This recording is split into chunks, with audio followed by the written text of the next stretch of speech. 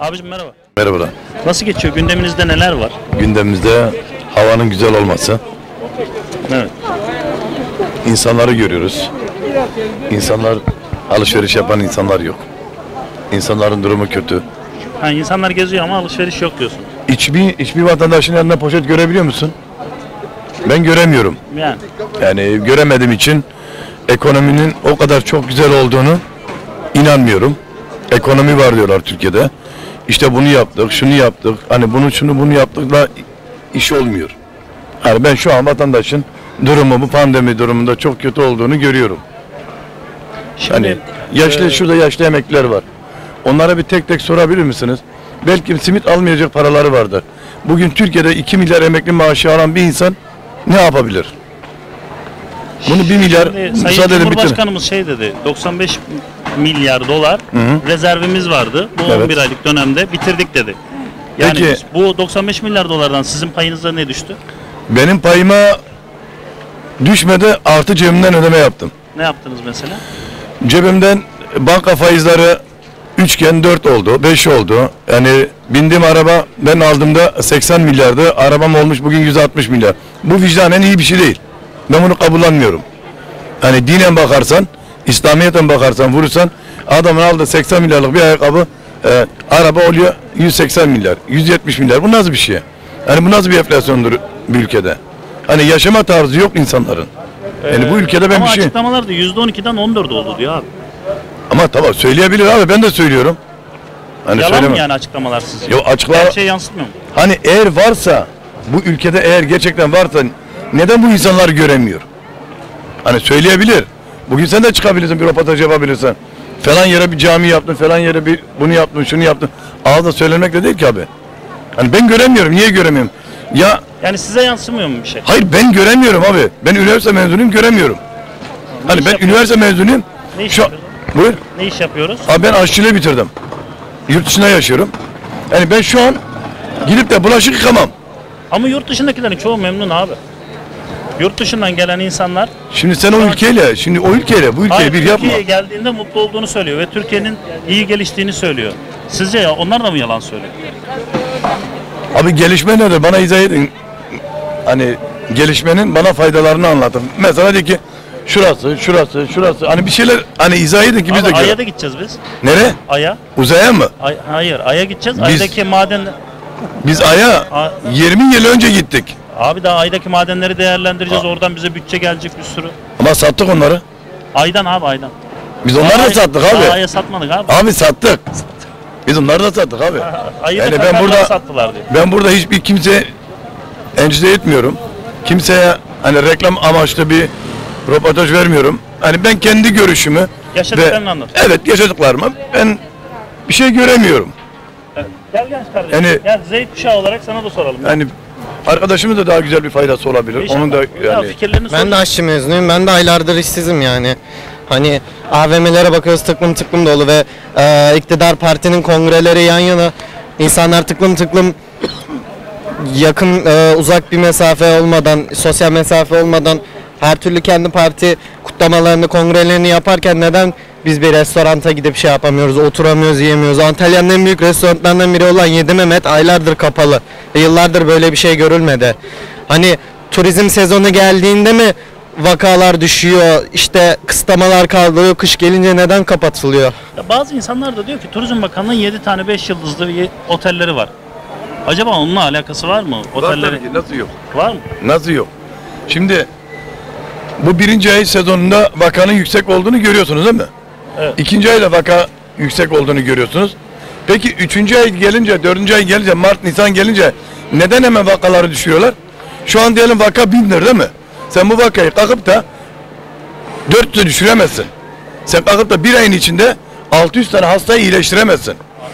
Şu an Hani- sadece ölümlere bakıyoruz. Farkındaysanız hepimiz tabloda kaç kişi ölmüş bugün? İşte 68 kişi ölmüş, 70 kişi ölmüş. Ölmeyen de Şu an- ölmüş ki. Şu an e, sadece ölümlere odaklı istatistiklere bakıyoruz. Sizce bu sene turizmden umutlu musunuz yani? Nedir düşünceniz? Turizmden ben ümitli değilim. Hani çünkü artık yabancı turistler de güvenmiyor. Ee, Londra'da geçen sene her sene düzenlenen uluslararası e, müzik, dans, sanat şeylerine, e, yarışmasına bu sene Türkiye'den hiçbir katılımcı almadılar. Çünkü Avrupa'da, Amerika'da Türkiye'den gelen istatistiklerin doğruluğunu sorguluyor ve büyük bir şüphe var. İstatistiklerin e, ölüm sayılarının saklandığını söylüyorlar. Biz e, bahar aylarında bu ölüm vakalarının, e, yayılma vakalarının bir anda hızla düşüşe indiğini görüyoruz ama e, kış yaklaştığında artık yaz sezonu bittiğinde turizm bittiğinde bu vakalar tekrar yükseliyor. Yine her yer patladığı bize söyleniyor ve biz gençler olarak buna inanmıyoruz. Biz Bir de şeyi biliyor musunuz? Ee, mesela Sağlık Bakanımızın da son yaptığı açıklamalarda aşının fiyatını, kaça geldiğini vesaire geldiğini artık gizli tutacağız dedi. Açıklama yani devlet sırrına e, koyacağız artık dedi aşı fiyatlarını. Bu konu hakkında ne düşünüyorsun? Sizce Peki şeffaf bize bir açıklama yapmadı şeffaf sürece. bir yönetim mi olmalı? Yani hakikaten yani bir aşının kaç dolara aldığı vatandaştan saklanmalı mı sizce? Açık açık şu kadar şu parayı aldık, şu kadar şu parayı aldık. Mesela bazı belediye başkanları kazandığında şöyle tablo halinde binadan aşağıya doğru ne kadar borcu var, ne kadar alacağı var. Evet. Yani böyle bir şeffaf yönetim sergilenemez mi sizce? Şeffaf bir yönetim sergilenmeli bence. Devlet sırrı mı olmalı aşının kaç Devlet sırrı olmamalı. Şeffaf bir yönetim sergilenmeli bu konuda. Sizce niye şeffaf yönetim yok? Neden bunun altında yatan etken meden- neden ne sizce?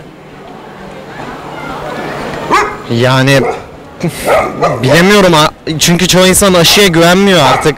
Çünkü Çin'den alıyorsunuz aşıyı tamam Avrupalı devletler de alıyor ama e, bizim aşıyı temin ettiğimiz bizim aşıyı temin ettiğimiz e, fabrikanın markanın daha önce kendi aşılarını onay almak için rüşvet teklif ettiği çıkıyor Çin hükümetine. Hani böyle bir aşıyı kaça alındığını tabii ki de saklarlar. Belki e, çok ucuz bir aşı olacak. Yani bizim şüphelerimiz var. Ben aşı olmak istemiyorum. Hani Sağlık Bakanlığımızda aşıyı vatandaşımızın tercihine bırakıyoruz diyor ama birkaç ay sonra aşı olmayan insanların AVM'lere giremeyeceğini %60'ı da görebileceksiniz. aşılanmadan diyor. Ee, yani genel tamam biz bu olayın artık güvenilirliğini sağladık diyemeyiz diye de açıklama yapıyor Sağlık Bakanı. Yani bu vatandaşın %60'ının en az aşılanması lazım diyor. Yani Sağlık Bakanlığımız eee, Avrupa'da e, dünyada en fazla aşıyı e, günlük en fazla aşı vurulan ülkenin biz olduğunu söylüyor ama ilk başlarda ilk aşı alımlarında bunların artışını görürken zamanla günlük e, vurulan aşı kişi sayısının 2000'lere 3000'lere çok düşük rakamlara düştüğünü de görebiliyoruz. Hep böyle sansasyonel mi gidecek acaba sizce ülkenin yönetimi? Ben gençlerin adına konuşayım. İlla ki sağ görüşlü gençlerimiz de vardır. Ben kendimden ve kendi arkadaşlarımdan bahsediyorum. Biz bu, bu ülkede herhangi bir gelecek göremiyoruz. Benim arkadaşlarım e, buradan kalkıp Ankara'da üniversite okumaya gidemiyorlar. Çünkü çocuğun aklında endişeler var. Nerede kalacak, ne yapacak? E KYK'ya gidecek, yurtta kalacak. Üniversiteden mezun olduğunda asıl birikim yapması, asıl geleceğini tasarlaması gereken çocuğun sırtında 35 bin 40 bin lira borç kalıyor. Fersiniz çok büyük şirketlerin, Limakların, Cengizlerin vergi borçları silinirken neden KYK borçları silinmiyor? Bu gençler bu ülkenin geleceği değil mi? Neden beyin göçü veriyoruz sürekli? Aynen de öyle. Biz daha önceki röportajlarımızda da dedik. Yani büyük şirketlerin vergi borcu sıfırlanırken niye öğrencilerimize işte adli takip, yasal işlem veya icra haciz kararı çıkartıyoruz diye dile getirdik. Çoğu kişi de korkmaya yani konuşmaya korkuyor burada. Sizce yani bunları konuşmak vatan hainliği mi veya FETÖ'cülük? Bunlar vatan hainliği değil. Eğer demokratik bir ülkede yaşıyorsak her vatandaş kendi e, düşüncelerini, fikirlerini özgürce belirtmek zorunda. Sonuçta başımızdaki e, liderler, siyasiler bizim annelerimizin, babalarımızın yani bizim verdiğimiz oylarla oralara çıkıyorlar ama oralara çıkan insanlar bu sefer vatandaşı or görmeye başlıyor. Şimdi siz de oy kullanacaksınız Evet. 2023'te olası bir seçimde. Evet. Mevcut iktidara oy verir misiniz? Hayır. Şuna veririm diye kafanda yatan bir siyasi parti var mı? Ben CHP'ye vermeyi düşünüyorum. Ne kadar da benim çok fazla siyasi görüşümü tam olarak e, temsil etmese de ben CHP'nin oyların bölünmesinin doğru olduğunu düşünmüyorum. Şimdi Sarıgül Bey de yeni bir parti kurdu. Onun dışında Muharrem İnce de Muharrem İnce Bey de yeni parti kurdu. E, ondan önce İyi Parti MHP'den ayrıldı. Eğer bence CHP ile birleşselerdi e, CHP'nin oylarının bölünmesinin doğru olduğunu düşünmüyorum. Çünkü e, iktidara baktığınızda karşısında çoğunluk muhalefet CHP tarafından sol o taraftan gözüküyor. Çok sağlıklı düşüncelerim var ama sana şunu da sorayım. Diyelim ki Sarıgül, Mustafa Sarıgül veya Muharrem İnce parti kurdu. İyi de bir oy aldı diyelim. Sizce Millet İttifakı'nda mı yer alır, Cumhur İttifakı'nda mı? Onun için hiçbir şey diyemem yani. Siyasilerden her şeyi beklerim. Öyle mi? Evet Muharrem İnce biz yine Cumhur İttifakı'na destek veririz demişti. Onu duymuştum. Cumhur- Ama Sarıgül Bey'in ne yapacağını bilmiyorum. Parti partisini kurdu şimdi. Ha benim aklımda benim gönlümden geçen ben Genç Parti'ye vermek isterim. Cem Uzan'a vermek isterim. Ama oy oranları çok düşük ve ben niye oyumu çöpe atmak gibi bir şey oluyor yani. Yani en güçlü rakip kimse ona vereceğim diyorsun. Tabii ki de. Yani bizim ya be- ben diyeyim bizim demeyeyim çoğul konuşmayayım. Benim önceliğim e, AK Parti'nin iktidardan düşmesi. Birinci önceliğim o diyorsun. Benim birinci önceliğim o. Ben ben öyle düşünüyorum. Ben O desteklemiyorum. giderse bu karanlık, bu e, yani şeffaf olmayan olaylar hepsi temizlenir mi sizce AKP gidince? Hiçbir zaman temizlenmez tamamıyla. Yani hiçbir siyasetçi e, ak kaşık sütten çıkmış ak kaşık değil.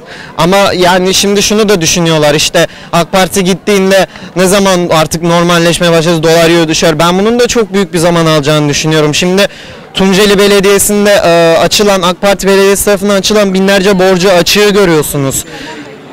Yani binlerce işte Kanal İstanbul gibi projelerden insanların Çok sağ olun abicim. Teşekkür ederiz.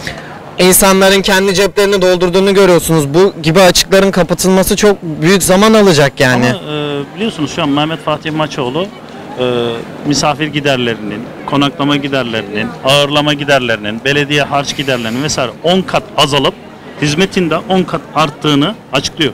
Ve şu an e, otobüsler bedava Evet. Tunceli'de. Su parası çok ucuz bir rakam. Yani şu an Türkiye'nin en ucuz suyunu kullanan il orası ve hala açıklaması şu yönde. Diyor ki ben diyor borçların %60 %70'ini ödersem suyu bedava hale getireceğim diyor. Veya %50 %75 daha ucuzlatacağım diyor. Şu anki borçların diyor %60 %70'ini ödediğimde %50 ila 75 daha düşüreceğim su fiyatlarını. Hatta zamanı geldiğinde bedavaya da vereceğim suyu diyor vatandaşıma diyor. Yani bu yönetim Tunceli'deki yönetim Türkiye bir örnek emsal teşkil edemez mi? Diğer siyasetçilere orası örnek bir belediye olarak işlenemez mi? Yani diğer belediyelerin de örnek alması gerekiyor. Mesela ben şeye çok dikkat ediyorum. Ee, mesela ben A Partisi'ni destekliyorum. A Partisi'nin benim belediyemi yönetirken zamanda yaptığı zamları e, benim gözüm görmüyor. Şimdi insanlar Ekrem İmamoğlu'nu eleştirdiler geçen sene. Ee, İstanbul Büyükşehir Belediyesi'nde toplu taşımaya zam geldiği için bu sefer e, Ekrem İmamoğlu'na saldırdılar. Ama orada A Partisi de olsaydı, B Partisi de olsaydı yine toplu taşımaya zam gelecekti. Yani bazı şeylere zam gelmek zorunda. Tabii ki de öyle. Yani asıl konuya dönersek ben Tunceli Belediyesi'ni örnek almalarını isterdim. Çünkü Alırlar örnek mı? örnek bir belediye olarak görüyorum. Alırlar mı sence? Yani iyi olan, şablonu düzgün olan ve iş üreten, hizmet üreten bir belediye sizce örnek alır mı? Cepleri dolduysa alırlar. Cepleri dolar mı? Cepleri dolmaz. Olmaz. Tamam, görüşlerini beyan ettiğin için çok teşekkür Çok ederim. teşekkürler. Sağ ol.